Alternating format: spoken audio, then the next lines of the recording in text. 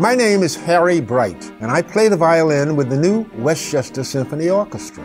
Join us on Sunday, October 26th. Students from all over Westchester will join us to perform Beethoven's unforgettable Fifth Symphony.